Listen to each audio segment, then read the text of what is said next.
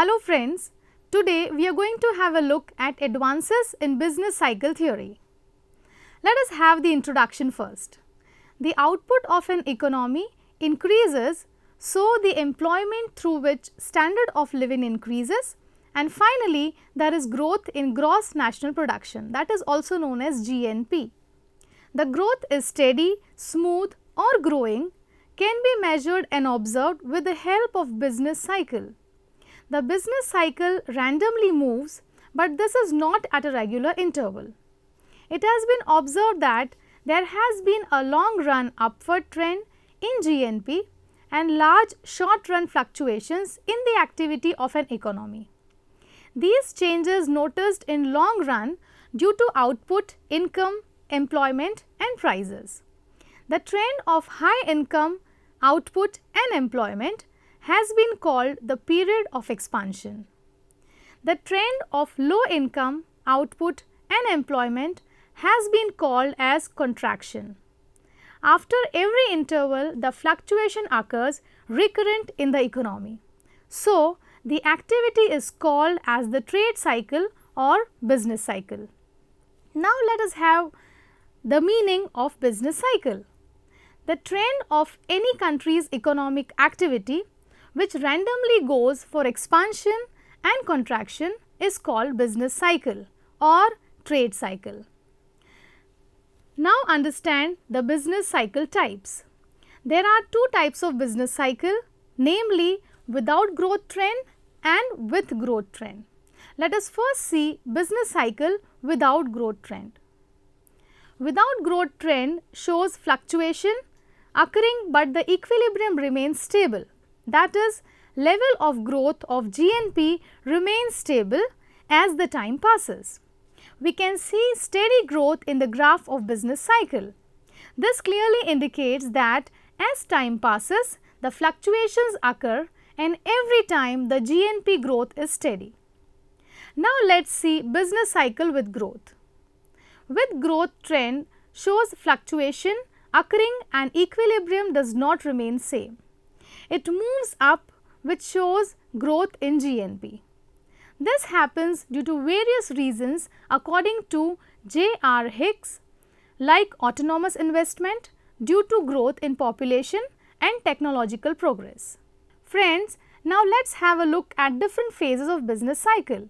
There are three phases of business cycle namely expansion, contraction and depression, trough and revival. Let us see them one by one expansion also known as boom, upswing or prosperity. In this phase, people enjoy high standard of living. Price increases for the commodity which does not affect the population of an economy. As a result, there is increase in the employment and the output of various goods. There is no involuntary unemployment, but the frictional and structural unemployment prevails. The moment we have expansion, we have prosperity. There are zero gaps between potential gross national production and actual gross national production, finally has high production. As per Keynes, when the profit margin of the business reduces, then the investment reduces and also the bankers reduce credits, then the businessman reduces the investments. As a result, downswings in the economy activity takes place. Let us have a look at contraction and depression. Now, during this period, the price of output reduces due to aggregate demand reduces. As a result, the output goes down which affect GNP and finally, the problem of unemployment increases.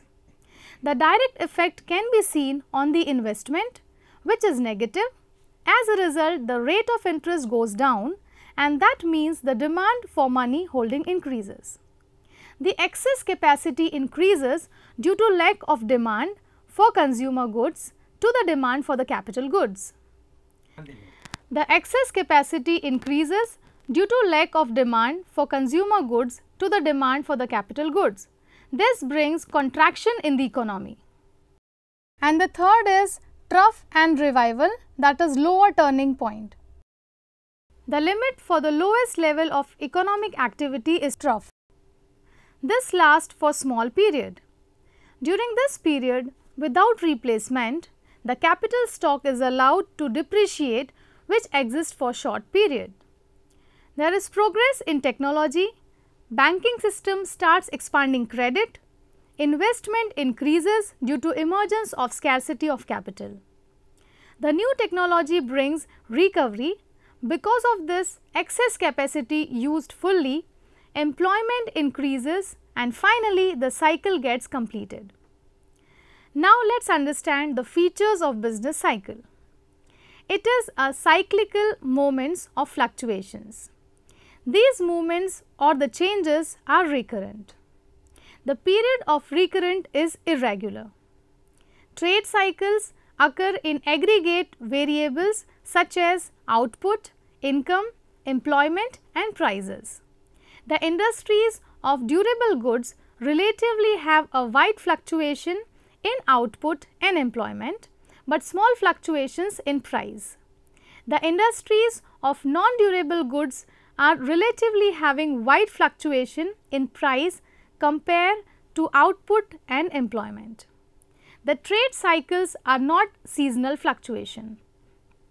The variables like income, employment, output and prices move for some time in the same direction but at different rates. Business cycles are not secular trends.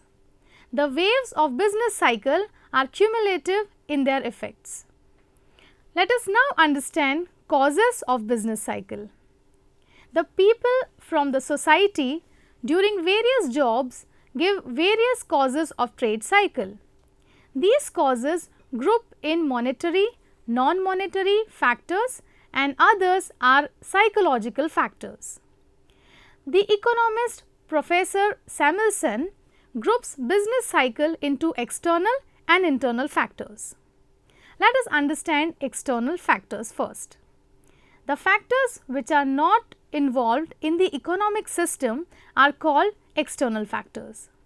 These factors are war, political events, gold discovery, population growth, innovations, migrations, discoveries, etc. These external factors bring boom in the trade cycle. Now, let us understand the internal factors. The factors which are involved within the country are internal factors. Professor Haberler has categorized into the monetary factors and non-monetary factors. Examples are bank credits, excess savings, excess investments, competition, psychological causes, innovation and marginal efficiency of capital. Theories of business cycle that is sunspot theory given by Professor Stanley Jevons in the year 1875. This Professor Stanley has talked about the fluctuation in the agriculture sectors that takes place due to sunspot that is due to change in the climate. He said agriculture sector is important because it serves the human beings in the form of food. It also contributes to the industrial sector for the further production. Hence, the agricultural output fluctuates then the output of the other sectors also get affected because they are dependent on agriculture sector. The next is monetary theory of business cycle. Now, this theory was on gold standard. As time passed, economy started dealing in gold. The economists talked about the fluctuations in the money supply which affect the economic activity through changes in price level and the rate of interest. According to the economist Hawtrey, as quantity of money increases, the bank credit for investment also rises. Due to this, bank credit investment or supply of credit expands and also the money supply expands. As a result, rate of interest goes down. In this situation, the businessman borrows more money and investment done on new technology, innovative technique of production and finally, the output increases and expansion is observed. This expansion remains for short duration because as the demand increases, so the price rises. This price rise affects the output and investment to increase. On the other hand, as the price rises, the real value of idle money balance with the consumer gets reduced. The expansion process brings the trade deficits due to import increase and the outflow of gold increases which brings reduction in money supply. Hence, the bank rate reduces and the rate of interest rises which results less investments brings contraction. As the price falls, the output with fall due to which people will hold larger money holdings. Thus, the contraction brings depression. Depression will stop in short duration because import reduces, gold comes in, a deficit in balance of trade reduces and finally, this leads to expansion in business cycle. The next one is under consumption theory which was proposed by Malthus and Sismondi in the year 1930. They said that consumption of good and consumption of services should be reduced and then only the demand for goods and services produced will be generated sufficient. And also said that as per the consumer demand, the production should be done otherwise overproduction brings recession in the market. This is not a recurring business cycle, but to explain that how a free enterprises economy enters a long run economy slowdown. They talked about the rich and the poor people of the society. They said richer get more income than the poor in the form of real property and the financial assets owned by themselves. So, they save more and consume less from their income compared to the poor. They have also consumed that during expansion, the rich people's income get increased compared to poor and the average propensity to save by the rich fall. That means the consumption demand falls and the process of saving increases. In this expansion period, saving increases, leads to more investment expenditure on capital and later as these goods stock increases stops the economy to produce more consumer goods and services. This leads to shortage and to overcome from this the economy expands and the supply of goods is more compared to the demand for goods which leads to price fall. As the price falls, the production reduces and the economic activity of an economy goes into recession. The next one is overinvestment theory by Professor Hayek. He discussed on monetary forces which show fluctuations in investment. He believed that at present the economy is in recession and businessman demands for bank credit which is very low. This pushes down the money rate of interest below the natural rate. In this situation, the businessman will be able to borrow money and go for capital goods investment. This leads to huge output employment generation, increase in saving, increase in income and finally expansion of the economy and the production of consumer good rises. As for the investment, businessman has taken the advantage of bank reserve and this excess bank reserve comes to an end, the bank credit goes up and the supply of a credit in front of demand is less which brings money rate of interest to go up than the natural rate of income. This brings the losses for the businessman. This situation shows the overinvestment, less savings, need for finance and decline in investment. This causes the income and consumption to fall and finally the economy goes down. The next one is overinvestment theory by Wicksell. Wicksell's overinvestment theory is based on non-monetary aspects. He says that as the investment increases and brings the innovation, opening of new market by the entrepreneurs is the cause of cyclical fluctuation and brings the profit for them. This profit can be generated by reducing cost or increasing demand for the products.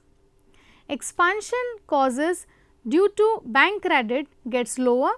So, the investment rises and after some period over investment can be seen due to lack of bank credit which lowers the income and consumption brings the recession. Later as again the innovation takes place the economy expands. Now, let us move forward to Keynes theory of business cycle. This theory is based on the theory developed by himself, general theory of employment, interest and money. He said the level of aggregate effective demand determines the level of income, output and employment.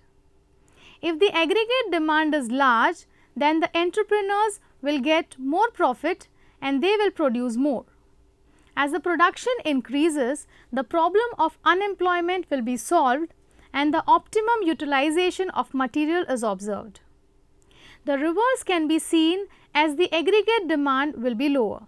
Hence, the expansion and contraction observes respectively. These fluctuations of aggregate demand depend upon the aggregate expenditure of consumer for the consumer goods and entrepreneur investment for consumer goods, materials and capital assets. He said in short run, the propensity to consume is being more or less stable. The fluctuation of aggregate effective demand primarily depends upon investment demand, so the business cycle fluctuates. He indicated three important points for the fluctuations. Firstly, he said the fluctuation occurs in the business cycle due to change in the aggregate demand which bring about changes in economic activity. Secondly, he said due to changes in expectation for profit by the businessman, the investment fluctuation occurs. And finally, he kept multiplier theory to explain the change in investment brings change in income in employment. The next one is Samuelson's model of business cycle. Samuelson says that the cyclical fluctuation in the economy occurs due to the interaction between the multiplier and the accelerator. The level of investment increases, income rises by a smaller amount and this depends upon the value of the multiplier. This helps in income rise which leads to further investment to rise by the acceleration effect. As the income increases, the aggregate demand for goods and service rises. To fulfill the need of aggregate demands of an economy, it needs more capital goods which make extra investment. So, he says investment and income are one of the mutual interaction. Investment affect income and this affect investment demand and the process of income and employment have a cyclical manner fluctuation.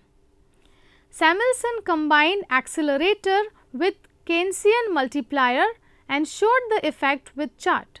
Delta y is the increase in income 1 divided by 1 minus MPC is the size of multiplier where MPC is the marginal propensity to consume. Delta ID is increase in induced income where V is equal to size of accelerator. In this illustration, increase in autonomous investment that is delta IA leads to increase in income through multiplier that is delta y is equal to delta IA into 1 divided by 1 minus MPC now, this further leads to increase in induced investment through accelerator delta ID is equal to V delta Y. This gives aggregate demand and income increase by an even larger amount. In the free private enterprise economy, the fluctuation is caused by investment. The instability occurs due to accelerator and multiplier interaction. The variation in the aggregate demand gives rise to multiplier effect which depends on the marginal propensity to consume. As the consumption, income and output rises by the multiplier effect further changes in investment occurs and to the extent the investment depends upon the capital output ratio. To conclude, the interaction between the multiplier and the accelerator gives rise to the business cycles without any influence of external factors. The pattern of fluctuation depends upon the magnitudes of marginal propensity to consume and capital output ratio. Now, let us understand the advances in business cycle theory. New two theories have been introduced in the recent time namely the real business cycle theory and new Keynesian economics.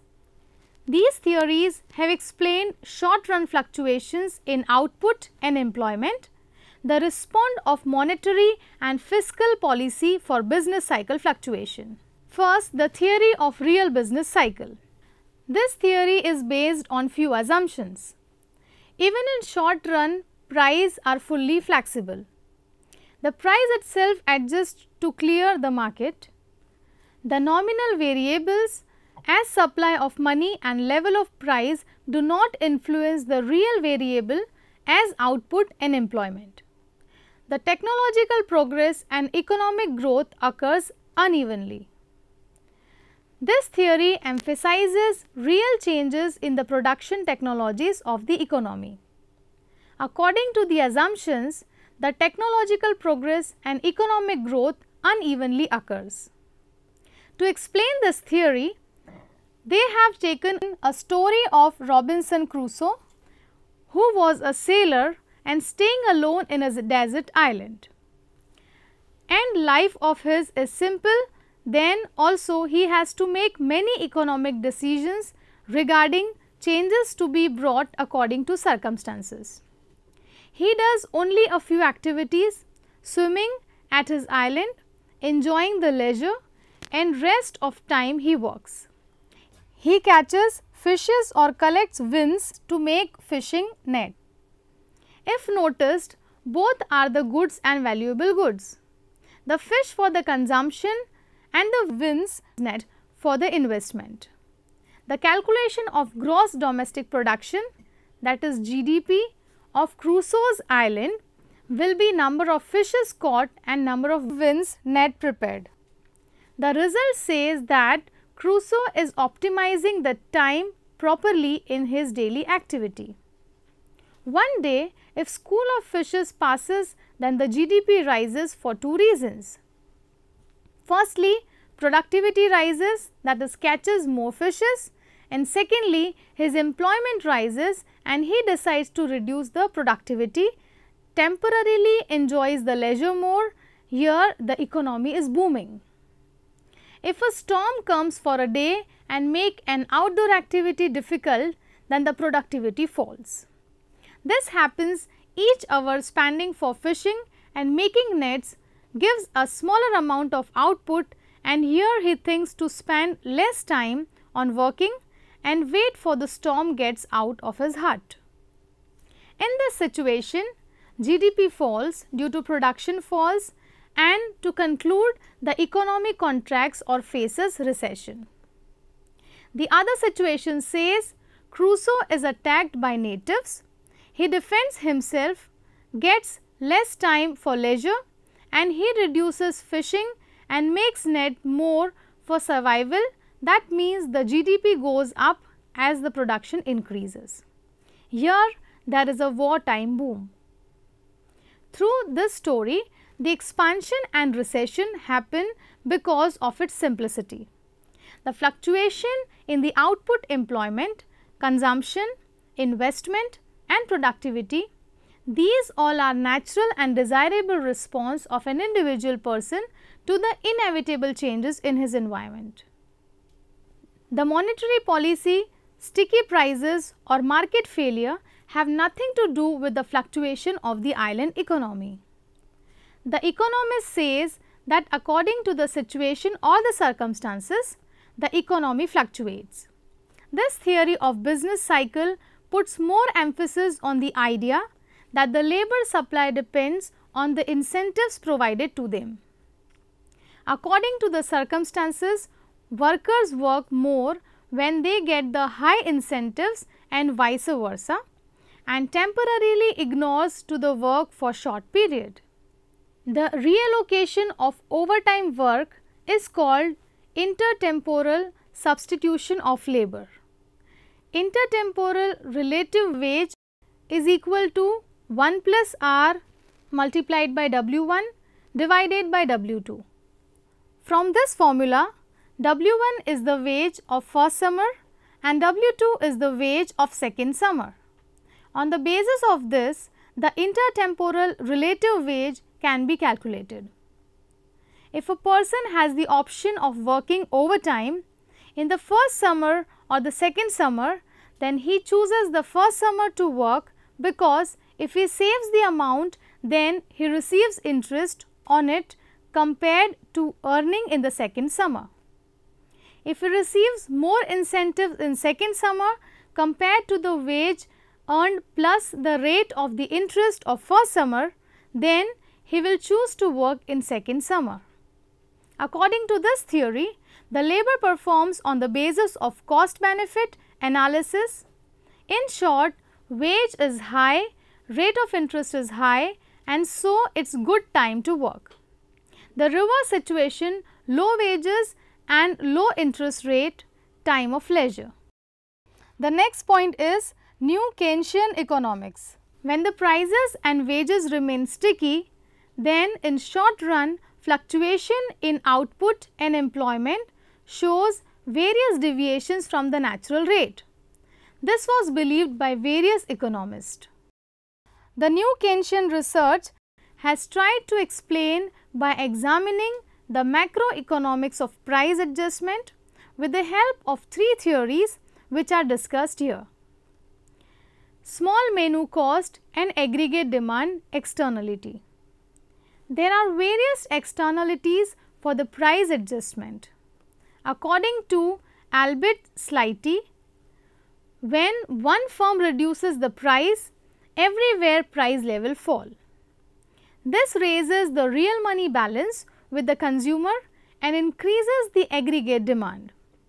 This benefits the other firms and this known as aggregate demand externality.